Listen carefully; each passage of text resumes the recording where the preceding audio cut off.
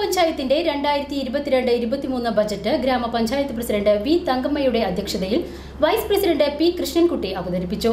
നാൽപ്പത്തിയഞ്ച് കോടി രൂപയുടെ അടങ്കൽ സംഖ്യയിൽ ഒന്നാം ഘട്ടത്തിന്റെ ഭാഗമായി പതിനഞ്ച് കോടി രൂപയുടെ പദ്ധതികളുടെ നടത്തിപ്പാണ് ഈ വർഷം ലക്ഷ്യമിട്ടിരിക്കുന്നത്. രണ്ടായിരത്തി എണ്ണൂറ് പേർക്കുള്ള കുടിവെള്ള കണക്ഷന് രണ്ടായിരത്തി ഇരുപത്തിരണ്ട് ഇരുപത്തിമൂന്ന് വർഷത്തിൽ ലക്ഷ്യമിടുന്നുണ്ട്.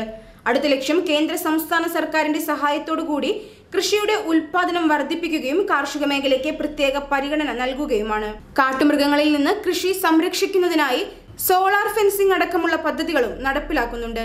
ഇതുകൂടാതെ ഭവന നിർമ്മാണ മേഖലയിൽ ഇരുന്നൂറ് വീടുകൾക്ക് ലൈഫ് ഭവന പദ്ധതിയും പി എം എ വൈയും സംയോജിച്ച് ഭവന നിർമ്മാണ സഹായവും ബഡ്ജറ്റിൽ ലക്ഷ്യമിടുന്നുണ്ട്.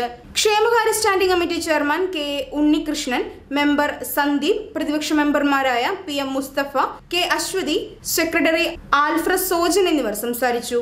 നമുക്ക് ഏറ്റവും അനിവാര്യമായിട്ടുള്ള ഘടകമാണ് കുടിവെള്ളം.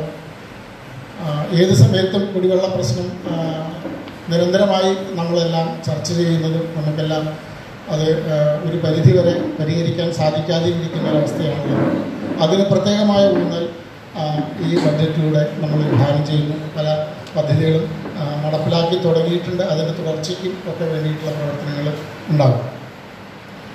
സമഗ്ര കുടിവെള്ള പദ്ധതിക്കായി Jal Jeevan mission water authority Panjal ഗ്രാമപഞ്ചായത്ത് എന്നിവർ സംയുക്തമായി നാൽപ്പത്തിയഞ്ച് കോടി രൂപയുടെ അടങ്കൽ സംഖ്യയിലെ ഒന്നാം ഘട്ടത്തിന്റെ ഭാഗമായി പതിനഞ്ച് കോടി രൂപയുടെ പദ്ധതികൾ നടത്തിപ്പ് ആണ് ഈ വർഷം ലക്ഷ്യമിട്ടിരിക്കുന്നത്.